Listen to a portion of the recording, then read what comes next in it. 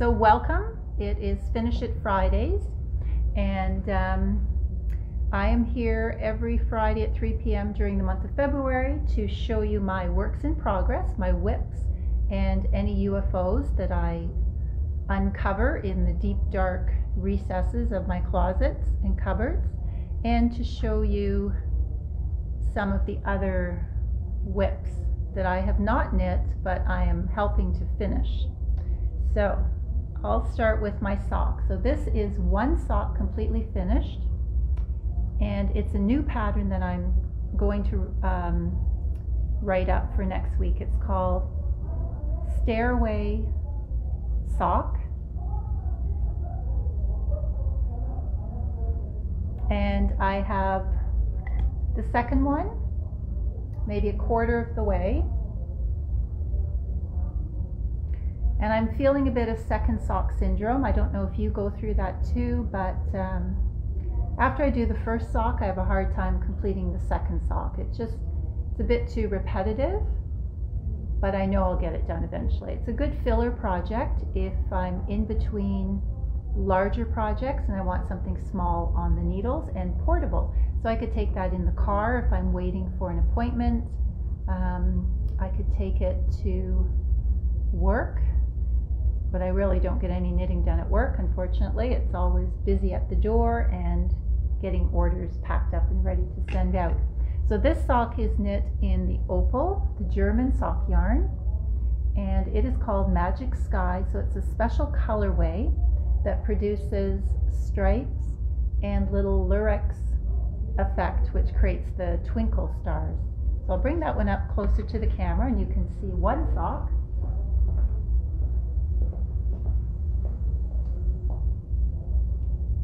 So one sock finished.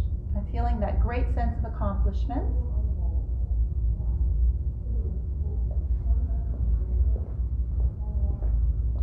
And it's a very easy pattern. It's just ribbing and then a play on the ribbing by moving one stitch over every fourth row and it creates a diagonal rib. The fun part is in the second sock because I'm making the diagonal rib go the opposite way. I just thought it would look funny if there's two socks and they're both leaning to the left. So one sock will lean to the right and one sock will lean to the left. So that is my sock WIP. Do you have any socks on the needles right now? Hi Debbie, hi Mary, hi Cindy. I think we have sound now, Cindy. I hope we do. Um, so that is my smallest project. And then I started a brand new project just because I felt like I needed something fresh on the needles. So I decided to knit up a little late winter vest and I've completed the back. This is something that I'm thinking I might want to wear over a dress to give me a bit more warmth. And uh, it's just going to be a round crew neck sleeveless vest. I can bring this one up to show you the detail.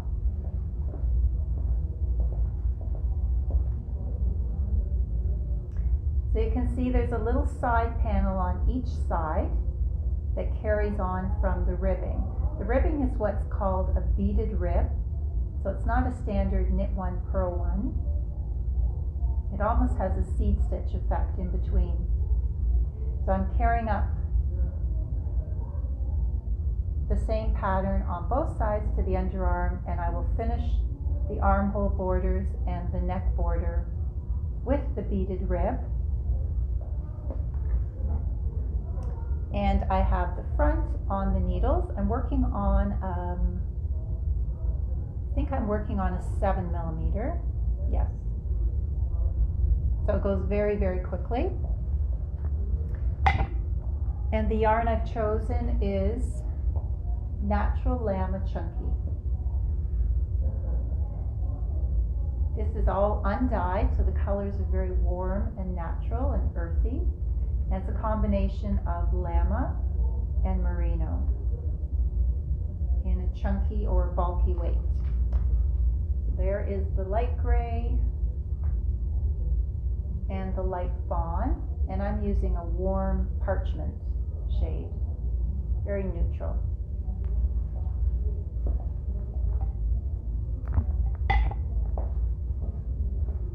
So I plan to have that vest done this weekend and then I'll be able to wear it next week. It's really not much to it. So that is project number two. And what I really wanted to work on every evening is my granny stripe blanket. I started it, um, I think it was last week or the week before, and I put a progress marker in so you can see how far I've gone since last week. So a progress marker is just a little clip in marker. Well, there it is. I'll bring it up so you can see it closer. So I am a crochet queen sometimes. There's my progress marker. That's where I was last Friday. And this is worked out of leftover fingering weight and sock yarns. So now I think I've completed um, almost three sections. Each section I'm finishing with two rows of a halo yarn, which is kid mohair and silk, and then I start again into whatever colors at random I pick. So it is really a very satisfying project. Um, crochet goes very quickly for those of you who do crochet, you know that one row is like doing four rows of knitting. So you get a lot of satisfying um, results. And it's very free form and very simple to do. I'll, I'll show you how to do the double crochet stitch. It's basically three double crochets in each space. It's like the traditional granny square blanket, but instead of going in squares, I'm going in stripes and I will post the link to the pattern in the comments below. I think last week a few of you have started your own version of this blanket. So it'd be great to see some pictures posted in our events page called Finish It Fridays. Hi Judy, yes, a vest is so cozy, especially for this time of the year where sleeves get a bit too bulky under a jacket and you just need something to keep your back warm until spring. And yeah, so quite a few people have been asking, what do I do if I don't have um, leftover bits of yarn? Well, what I've been doing is using one of the self-striping sock yarns as sort of a base color and then I introduce all my bits and pieces as I go.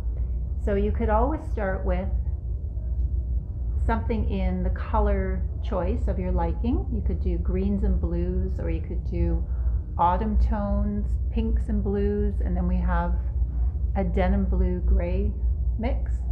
There's lots of other colors too in the store. This is just an example of what I had at hand today.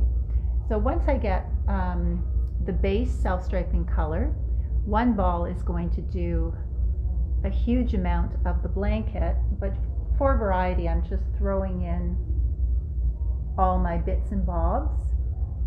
And I think it, it worked out that it takes about 40 yards to do two rows. So I, I try to go across one way and then back. And then that I consider one stripe. And then I'll start a new color and get two rows again for one stripe.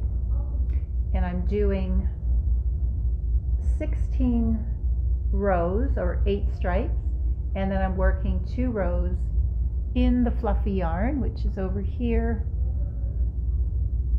And I'm working the whole blanket on a four millimeter hook. It's very adjustable. You could do all chunky weight yarns and then you could use um, seven millimeter hook. You could do all worsted weight yarns and then you could use five or six millimeter. And for the fingering weight, it just works up nicely on the four. So this is the fluff that I'm using in between just to break up the texture and give it a nice soft halo effect. And I am using cream and the pale sky blue so far. If I have any leftovers of any of these colors, the pale pink, the misty gray, or the misty lilac, then I may use those as well. Other than that, there's no rhyme or reason to the colors I pick. It's just something that would appeal to a little girl because the goal is to have it as a gift for a special little girl. So we do have lots of different colors in the fluff, darker colors, medium colors, and the light colors. I have my hook in here, so why, why don't I just show you the stitch that I'm doing. Yeah, I think anytime you have leftover sock yarns, it'd be great to um, knit up children's socks for donations or mittens. Um, baby hats would be great. They never go to waste, right, Judy? Oh, Debbie's already started her. She's anxious to get to the second row. That's the thing, when you have so many colors, you can't put it down because you just want to see what the next color looks like against the last color and so on and so on. And Sandy is asking if you're using a base color, do you need to break the yarn? No, actually not.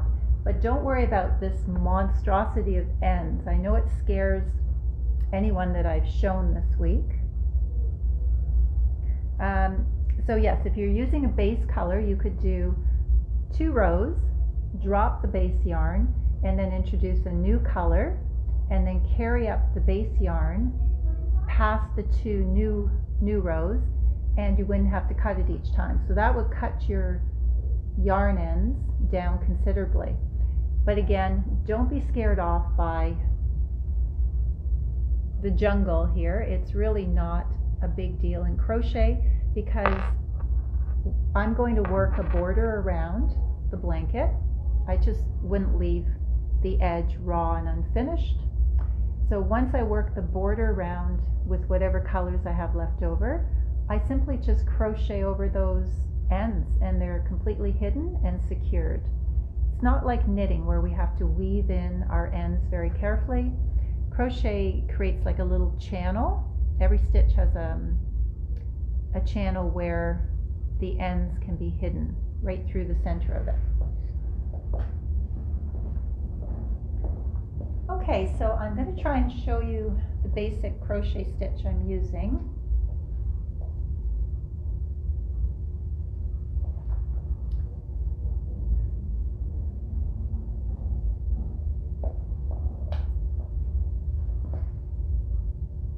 So this is my four millimeter hook. I'm using a wooden hook, Knitter's Pride Dreams. And as you can see, I've put three double crochets in one space. So my next three double crochets are going in this space here, which is much easier than actually aiming for a stitch. So my yarn over the hook, into the space, so right into the big hole, Bring the yarn through, yarn over, come through two loops, yarn over again, come through two. So that's one double crochet and then I would just put two more double crochets into the same space.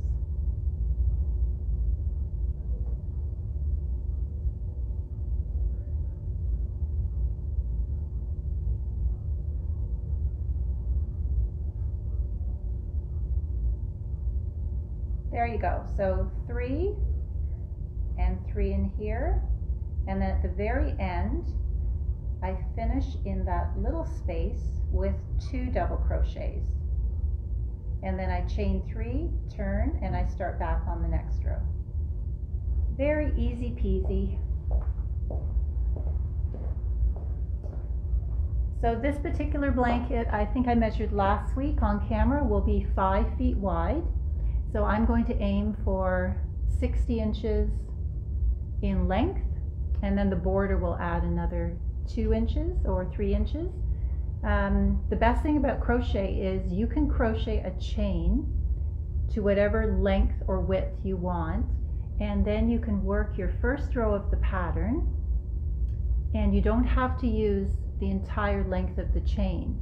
So it's always good to crochet a little bit extra chain until you decide the width you want and then you simply unpick the extra chains at the end, the ones that you haven't used. Whereas in knitting, you have to know exactly how many stitches you're casting on. You can't just leave any by the wayside. So that's my favorite project right now. I just absolutely love it, but I have to um, limit myself or else I would just sit in the evening and do nothing else. And yes, Elizabeth, the vest wool is the best. It is. It's so soft and squishy. And if I have it done next week, I will wear it with the dress that I have intended to make it um, part of the outfit. Um, so Andrew is asking, could you suggest a knitted bits and bobs blanket? Okay. My tension when crocheting is terrible, but would be interested in knitting one. Okay, well I happen to have a pattern in the store which is also knit with leftovers, so maybe I'll just um, step off camera for a minute and get that for you and you can see it.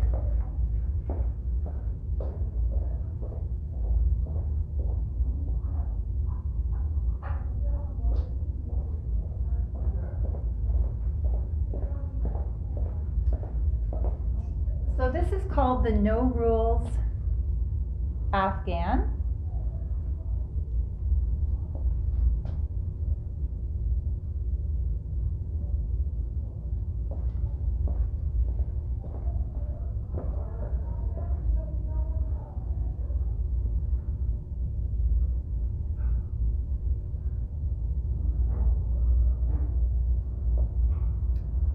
And it is designed as a scrappy blanket for all your leftovers. Um, it's one that I designed many, many years ago. So you can find the pattern on Ravelry and in store. And it really could not get any simpler. You're basically knitting strips. So whatever time it takes you to knit a scarf, is how long it will take you to knit one strip. And there's no rules because if you run out of a certain color, you don't have to worry it's not meant to match up to the next panel. The stripes are just all individual. And it does have a crochet border to give it a bit more body and strength, but a lot of people don't crochet are just doing garter stitch. So you can pick up your stitches and knit the borders instead. It is knit on 5.5 millimeter needle um, and it's worked with an assortment of yarn weights. So worsted weight is good. You can use two strands of DK or you could use three strands of sock weight together. And it's really fun to blend some of the colors. Um, some of the tweed colors, I've actually taken two totally different colors in sock weight or three different colors and worked them together. So it gives you a nice marled effect. Some people have put together all their yarn colors that might be in very pale pastels and worked from that color theme. Some people have worked from uh, neutrals. Some people have worked from you know, very specific colors. This one is just all the cabin colors, reds, blues, golds, grays. Nice warm blanket. And then the way you're uh, seaming it together, you have your strips and then you're going to have one strip sewn together with the stocking stitch facing out, which is the knit side, and then the next strip is with the purl side out. So it gives a, a different texture and effect. So that's an idea if you're looking for something to knit up a little bit quicker and have a bit more warmth. It's a heavier weight than the crochet blanket I'm working on now. Perfect for all your scraps.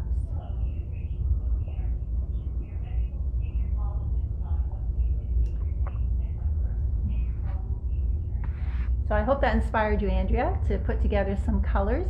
And again, if you don't have a really good stash of colors, I mean, a yarn store has boxes and boxes and boxes of stash yarn. Um, you can always start with one or two main colors and work from there. So you could maybe pick something like a gray tweed.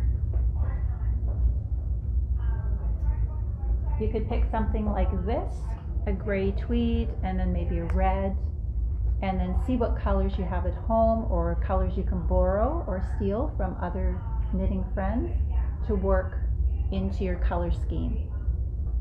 It's very free form again.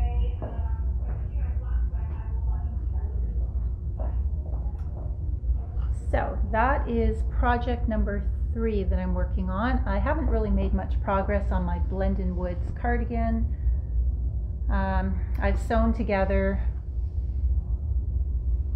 one front to the back, but I still have another front to start and complete, and then I have, I think, half a sleeve left to work on.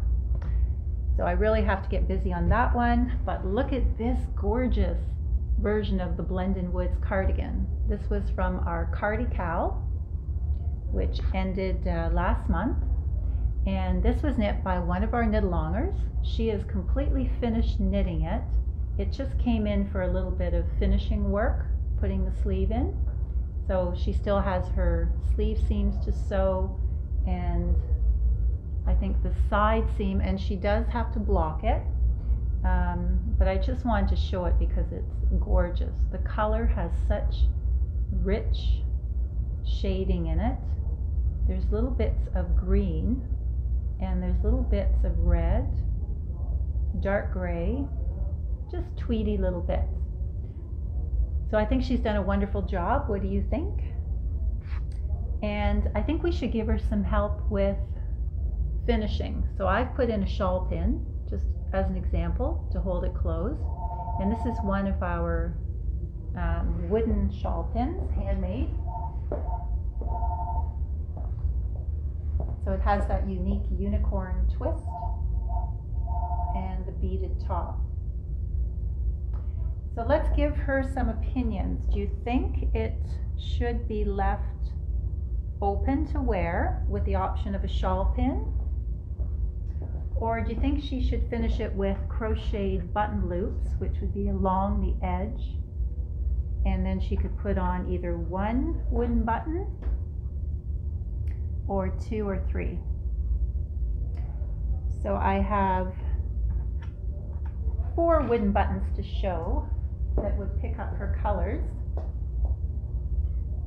This is a medium, I think it's a medium beech wood.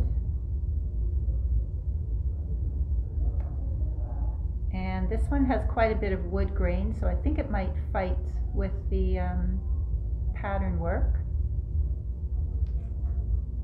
And this is a warm walnut.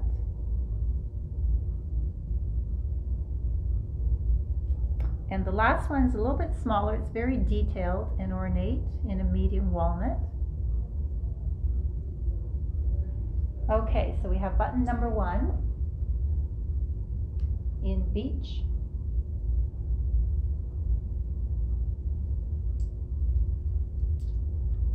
button number two, which I know you're going to rule out because it is quite a busy wood grain, although it is striking.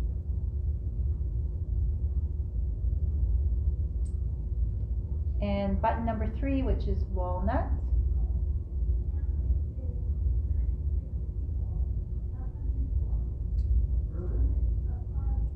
And button number four is a little smaller and it's quite ornate. It's all carved in walnut.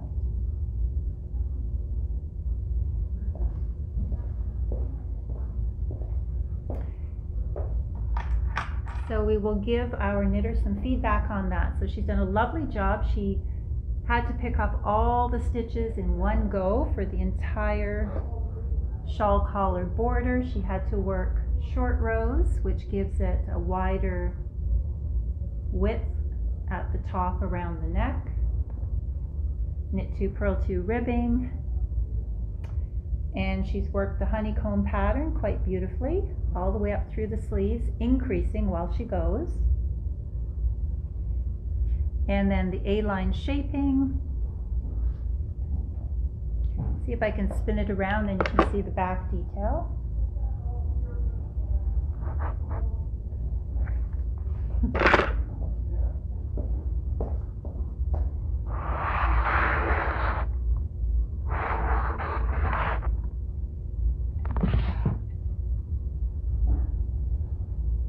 So all A-line shaping, shaping is happening right in the center section, in between the zigzag cable and the XO cable.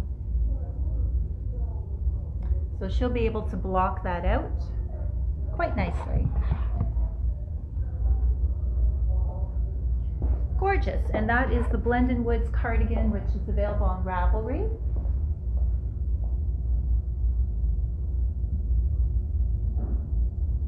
Designed by Carrie Bloomer. And it is knit in the Echo Tweed DK which I have here in the bowl. So it is classic looking English tweed, but much, much softer and lighter. It's a true DK tension, but it is a combination of organic wool, alpaca, and lyocell. So I think for my size, uh, the beige cardigan, I'm using five skeins, and for this one, I think it might be six skeins. Okay, so we've got uh, an opinion. The shawl pin. Yeah, the shawl pin would be very decorative and a little bit different. Plus, she could use it on other cardigans, shawls, and vests. So it's very versatile. If she goes with a button or two, then those buttons are sewn on for good. Oh, I think most of you like the shawl pin option. I think I like it too. Um, okay, and then I want to go over my UFO that I've unearthed. Another one that I should have finished years ago, but I haven't. Can anyone guess what it is? Or will be? This part might give it away.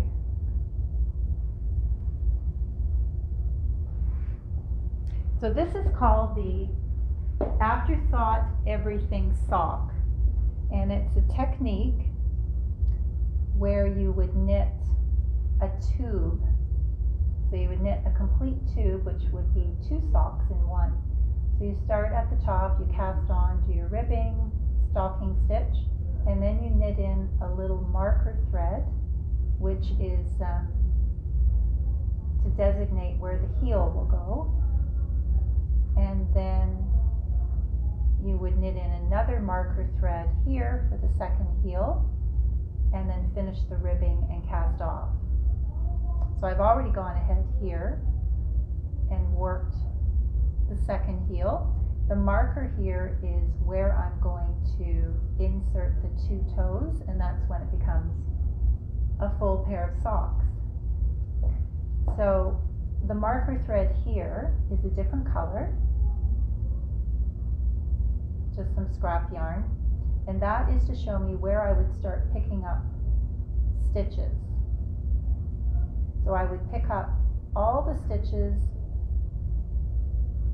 on one needle and then pick up the top of that row opening on a second needle.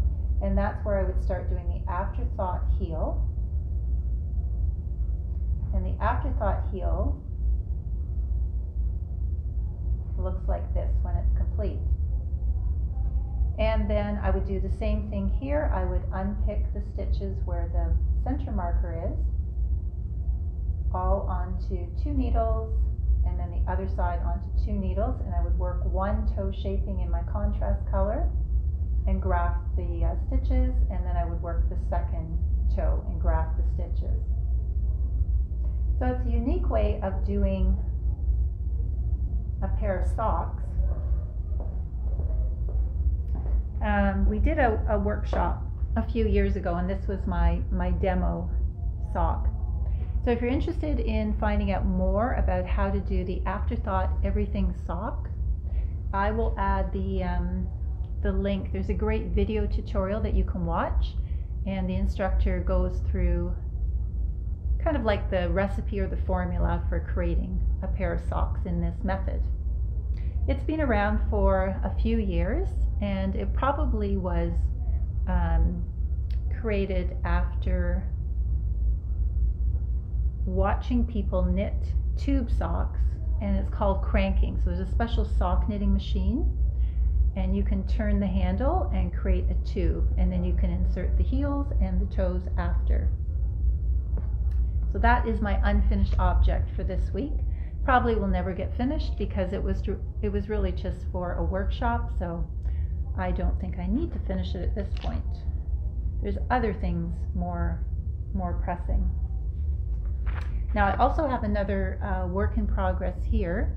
This was knit by our new grandmother, uh, Lorraine, and it happens to be her birthday today. So happy birthday to Lorraine. And she was um, able to have the best birthday gift ever. She has a brand new granddaughter six days ago, baby Harper. So this will be for baby Harper. And she's knit two in different colors, the teddy jacket. She's knitting a pale pink one now that she knows it's a girl. And this one, she just brought it in so that I could do some finishing and add some teddy bear ears at the very top of the hood.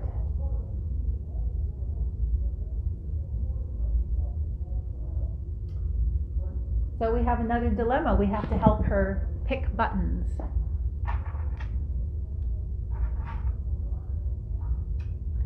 So again, we're, we're going through the same four buttons that um, we looked at for Evelyn's. And there are three buttonholes. So any of these buttons would work. So this is button number one, which is the filigree walnut.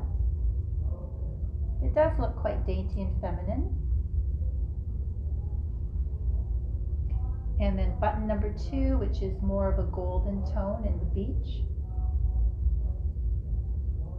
All handcrafted in Ontario. And then there is the um, zebra stripe wood grain. And then number four is the plain walnut.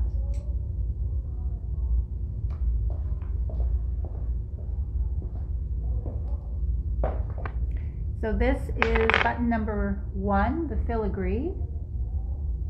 It's a nice size. And then button number two, which is really the same color as the yarn, might not provide enough contrast. And button number three is the um, wood grain and the stripes. Quite nice. And button number four is the walnut. So let's give some um, opinions to the knitter because she wants to get this one in the mail, I think on Monday.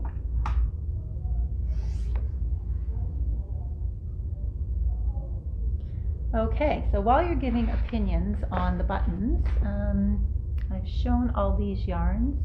Yes, so I've shown all my WIPs today. But I thought it'd be fun to go through uh, knitter's vocabulary words because we talk about WIPs, we talk about UFOs, we talk about FOs, which are finished objects. And I know a lot of you are learning the lingo more and more as you're knitting. A lot of these words will apply to crocheting too. But there's some really fun, fun ones on here that I have never heard before. So I'm going to read each one out and then I'll give you a second to think about it, and then I will give you the full meaning. And if if you want to comment what you think it it might be, you can uh, feel free to go ahead.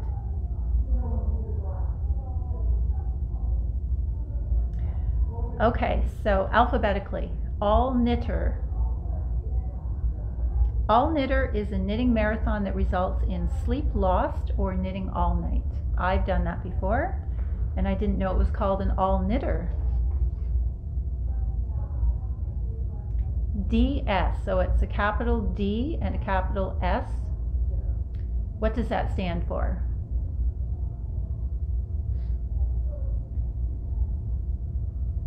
It stands for destash. To destash is to sell or trade unwanted yarn. Well, that might come in handy if you're thinking of doing the granny stripe blanket or the no rules afghan.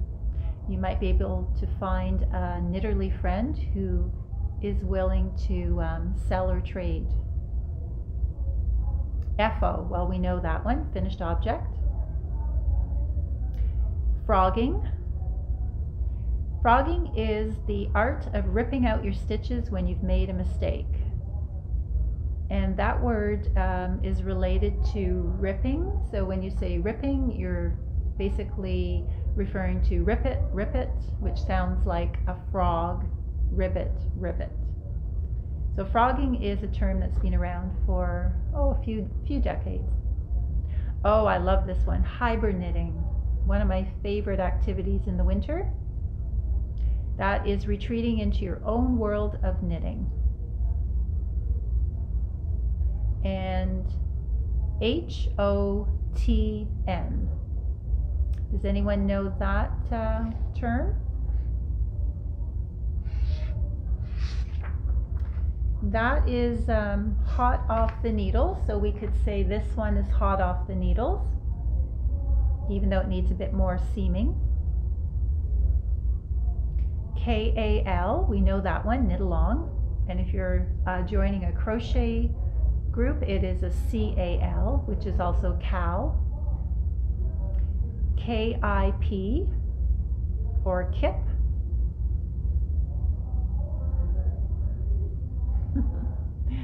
KIP is knitting in public. And that is something we really haven't been able to do much of in the last almost year. So hopefully uh, when the weather's nicer this summer, you'll see more people kipping or knitting in public. Another favorite of mine is Knitflix or Knitflixing. The act of knitting while streaming binge-worthy shows on Amazon, Netflix, or Hulu.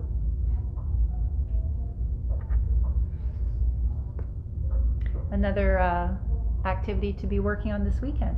Nitpicking. There is one term for nitpicking, but it has nothing to do with this one.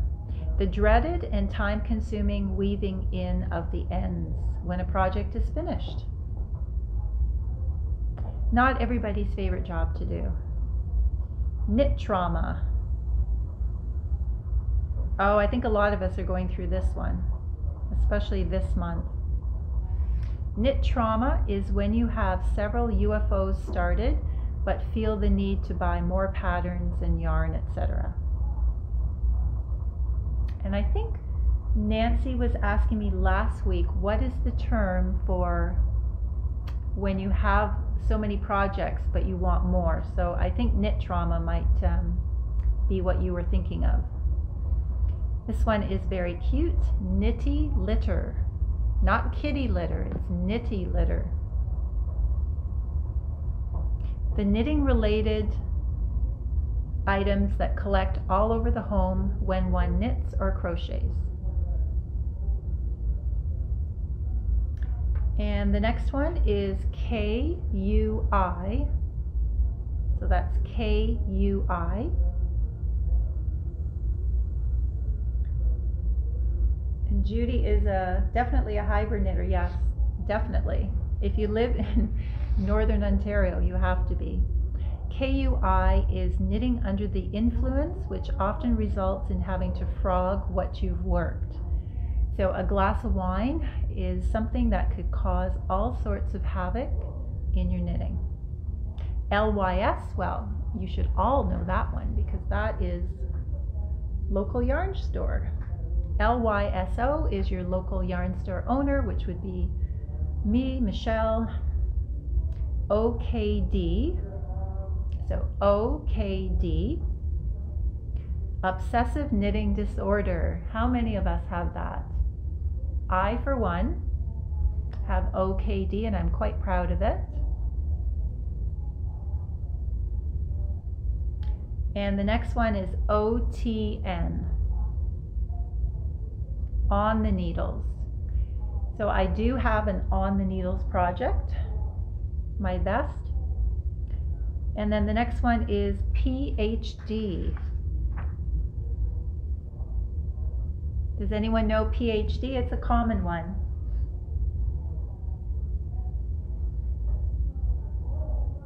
I'll let you guess that one and I'll go on to the next.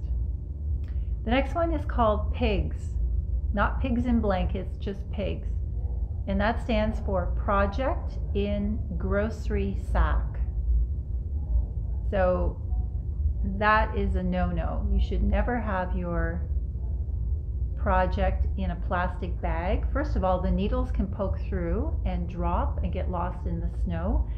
And secondly, it just doesn't look very professional. You should always have your project in a nice, um, a nice project bag. Or a tote bag or a basket. So back to PhD. Has anyone guessed it yet? I'm still waiting. Uh, pooling. When colors in variegated yarn clump together, creating big splotches or pools of color. So that quite often happens in a variegated yarn, which I could give you an example of.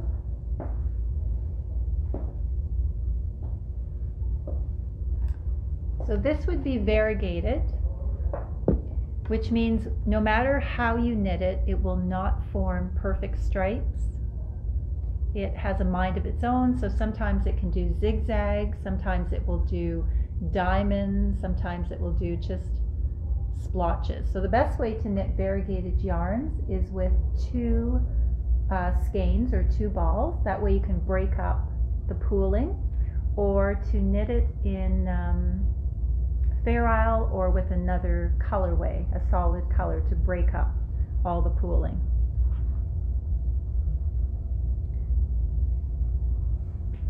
Okay, back to PhD. Nobody has guessed it yet. Projects half done, which is also known as a UFO. Um, procrastinating.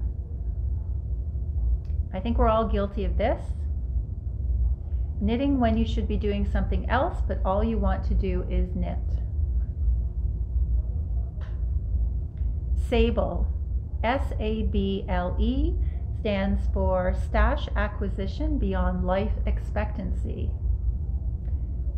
So that's something I don't think any of us want to admit to, but it happens. It's just part of the whole um, concept of knitting or making, quilting, sewing. Once you love something, you just build up a stash. SIP, S-I-P, stands for, aha, I've got one, Socks in Progress. That's my SIP.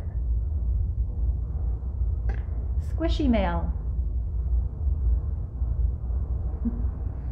Squishy mail is uh, yarn delivery. So when you get something in the mailbox that feels a bit like a pillow. You can pinch it with your fingers. You know inside is a beautiful skein or two or more of yarn. Stash, a knitter's collection of yarn, often bordering on addiction. Tink, that's T-I-N-K. And if you spell tink backwards, what does it spell? Our favorite word, knit. So tink refers to when you are undoing your knitting one stitch at a time to correct a mistake. So you don't confuse tink with frogging. Frogging is when you take it off the needles and you're ripping and ripping and ripping.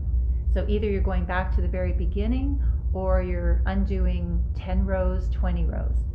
Tinking is a very um, meticulous maneuver. You're just using your needle and undoing one stitch, pulling the wool out, undoing the next stitch, pulling the wool out. And you're going backwards. You're turning around your work and going the opposite way. Oh, I love this one too. This is a new one to me. Toad, T-O-A-D. It's a four-letter word. It stands for trashed object abandoned in disgust. Trashed object abandoned in disgust. I, I don't think I've ever had a toad if I put something in the corner or time out, I usually pick it up again and finish it. Has anyone else had a toad? Okay, we're almost through the list. UFO, we know, is unfinished object, and that is usually an abandoned or neglected WIP, something that you just gave up on and or forgot about. UFO syndrome, the urge to start a new knitting project despite many UFOs already started. Vanilla, a simple, easy knitting pattern. So that would be a very plain pair of socks. If you're on Ravelry, you can look up vanilla socks, and it's a great um, recipe just for any self-striping yarn, or you can implement your own texture or design elements into it. WIP is work in progress. Yarn Bomb, uh, knitted or crocheted street art. We, uh, we had some yarn bombing in our Memorial Park in Bracebridge, I think it was last year. Um, very decorative, and I'm sure a lot of your towns have had yarn bombing somewhere. It's something just to make a statement and to create some social interest. Um, I don't think it's really meant to be reused after the fact. It's artwork, really. And the last one is also the best one of all. It is Yarny, a lover of all that is yarn. Well, that applies to all of us, whether you're a knitter, crocheter, um, needle felter, needle pointer, rug hooker, you're using yarn. So I think that is everything I wanted to show you today. Um, again, please um, check out our events page, Finish It Fridays, and have a look at some of the other um, projects that are well on their way to being finished or have been finished. There is another Blend in Woods cardigan that was just posted today, completely finished and blocked. It's absolutely stunning. And I think Andrea posted her garden gate top down pullover, which has really, really intricate Fair Isle here. And she's past the garden gate. So she's on the home stretch. So great work, Andrea. And I will be back next um, Friday for another uh, edition of Finish It Fridays. And hopefully I've made more progress and hopefully you have too. It's always great inspiration to um, just let others see what you're working on. I think it really helps us get through this kind of a slump that we're in. Have a great weekend, everyone.